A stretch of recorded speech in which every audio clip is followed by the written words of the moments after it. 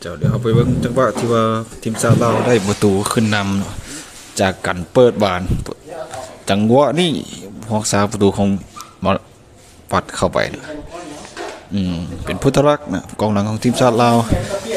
เปิดจากจังหวะฟรีคิกจังหวะนี้นะผู้รักษาประตูของทางด้านสิงคโปร์ปัดบานเข้าประตูตัวเองไปคือเป็นลูกที่อืมให้โซกอีดีมอบโซ่ให้กับทีมชาติลาวเฮา ขึ้นนำไปแล้วใส่เวลาเพียง 5 นาที ทีมชาติลาวนำทีมชาติสิงคโปร์ไป 1 ประตูต่อศูนย์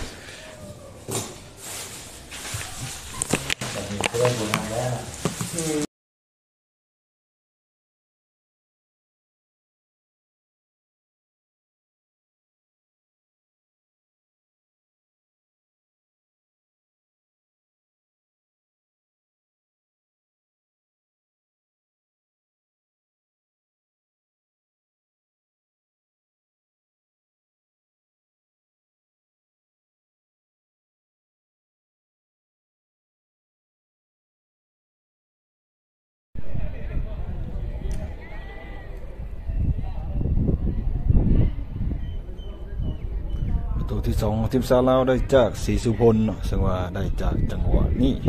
ก็คือทางจังหวะจ่ายทะลุซ่อง จังหวะนี้จ่ายทะลุซ่องมาเป็นจับยิงตามน้ำเข้าไปอย่างสวยงาม